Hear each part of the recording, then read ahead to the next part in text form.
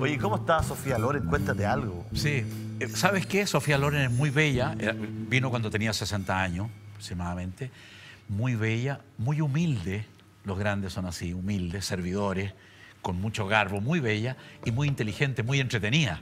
Muy entretenida. Y fue muy, muy especial porque cuando llegó a Chile me dijo, Tomás, Tomasino me dijo siempre, no me decía Tomás, me decía Tomasino, una confusión ahí. Eh, me decía Tomasino, vine a Chile a cortar la cinta de una tienda. La verdad que no sé cómo me convenciste, en ese tiempo era puro fax y ella estaba en China haciendo una labor social muy importante y vino de China a Chile, podrás dar cuenta, son 150 horas en avión, un horror. Y estuvo en Chile muy dispuesta, muy trabajadora y fue muy divertido porque, porque horas antes de la inauguración de la multitienda, la, la empresa Falabella, digamos, y la agencia publicitaria de turno me dijeron, Tomás, podríamos conversar con ella, podríamos, hay mucha gente, podrías conversar con ella a ver si puede autorizar grabar un comercial. Bocato di Cardinale, ¿no es cierto?, de grabar un comercial con la Loren en una multitienda del sueño del pibe.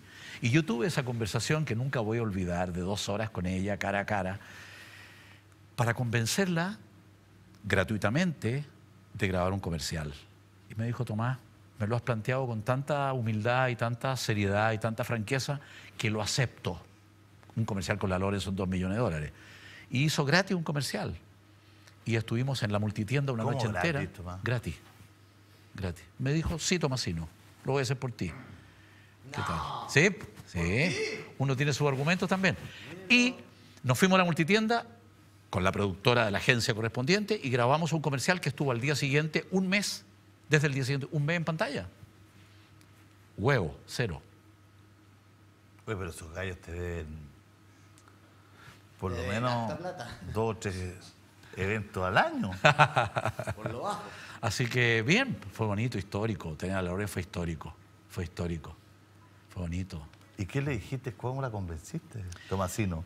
Tomás, bueno, bueno, claro, le hice una oferta que no podía rechazar. Le dije, mira, somos, somos lo que somos. Le mostré un mapa donde está Chile, lo que somos, lo que éramos hace 10 años. Y dije, mira, somos así nomás, vamos al frente, pecho a las balas, ¿sí o no? Me dijo, sí, lo voy a hacer por ti. Así fue, así fue. Nada más, nada más bonito, ¿ah? Bonito. ni a Vittorio de Sícamo, ni a su marido, yo creo.